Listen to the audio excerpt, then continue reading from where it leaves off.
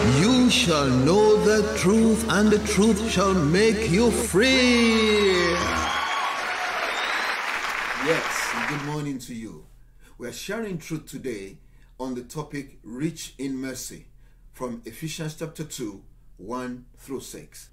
You're warmly welcome to the Really Really Knowing God channel with me, Pastor Lanre Adenekan. It's all packaged to inform and inspire you into the real knowledge of God.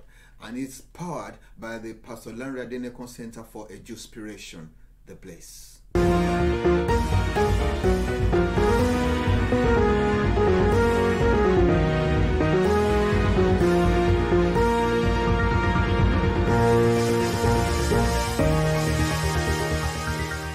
This Daily Gem Devotional, making you a gem to your generation and a gemstone in the crown of our Lord Jesus Christ. If you are tired of commonplace Christianity and now want the finest quality of it, this is the place to be.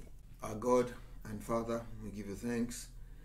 You have helped us, O God, at all times, and this morning again we receive help from you by faith. In Jesus' mighty name we pray. Amen.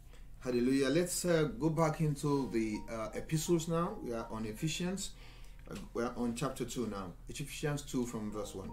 And you he made alive, who were dead in trespasses and sins, in which you once walked according to the curse of this world, according to the prince of the power of the air, the spirit who now walks in the sons of disobedience, among whom also we all once conducted ourselves in the lusts of our flesh fulfilling the desires of the flesh and of the mind, and were by nature the children of wrath, just as others. But God, who is rich in mercy, because of his great love with which he loved us, even when we were dead in trespasses, made us alive together with Christ.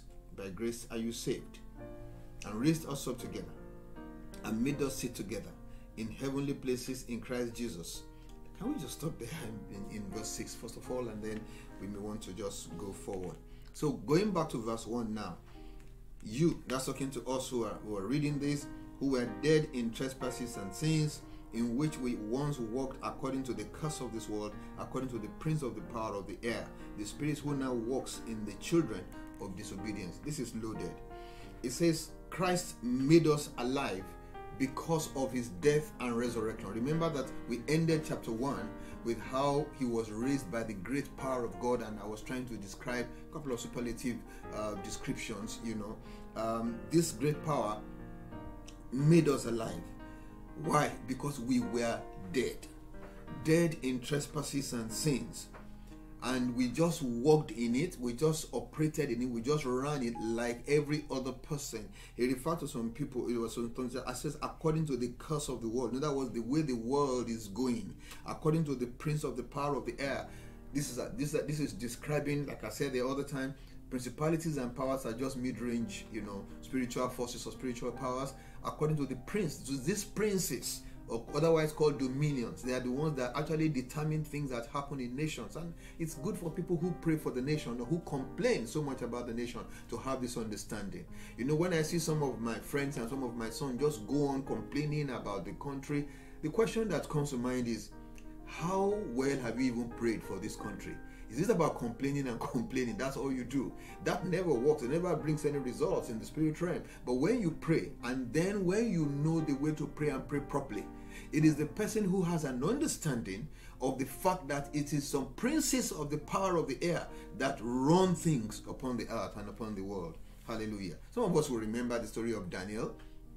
I spoke about the prince of Persia that was the person controlling in that environment. That was the spirit controlling in that environment. And then he says, after the prince of Persia has gone, the prince of Grecia will come. And truly, according to history, it was the Greek Empire that washed away the, the, the Persian Empire, which shows you that it's a change of, uh, of offices um, in the spirit realm change of princes in the spirit realm that reflected upon the earth here. And it happens everywhere also. Nigeria as well as every other nation. Some princes there trying to cause problems there but you see unless we have those eyes and understand those things and pray accordingly we may be at it for a long time grumble and whine and complain and all the rest of it. Whereas like we spoke about the power of the church when as we concluded chapter 1 as we concluded the power of the talk about the power of the church use your your knowledge of the word of god your knowledge of god to change things around may god grant us understanding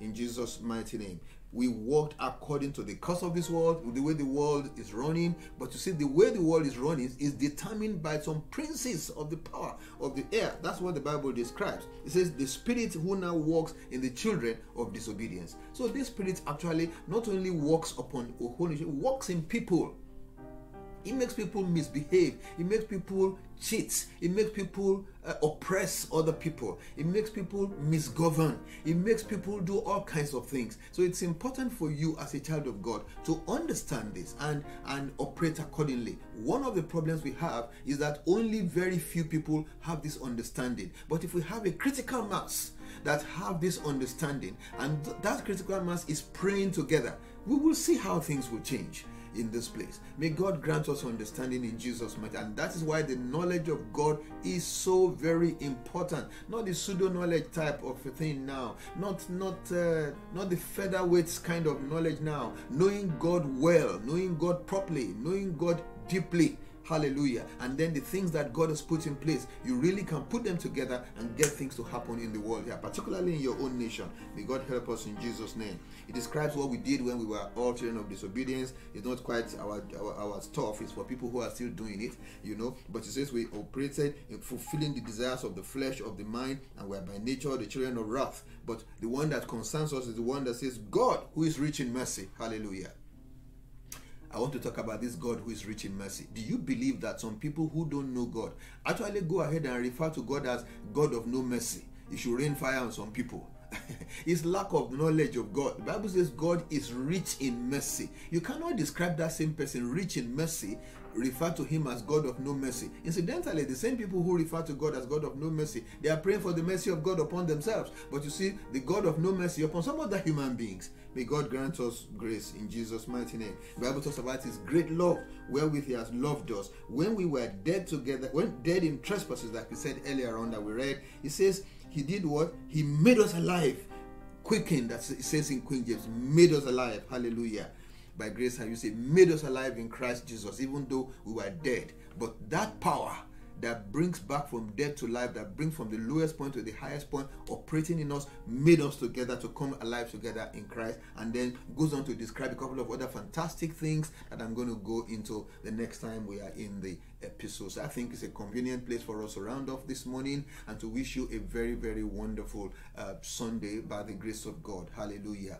Just before you go, I would like you to remember again, please to subscribe if you haven't done so up till this time. Hallelujah. And then to like this video, to share this video, drop your comments in our comment uh, uh, area of it all. And remember to press the notification bell if you would like to be notified when our posts come up.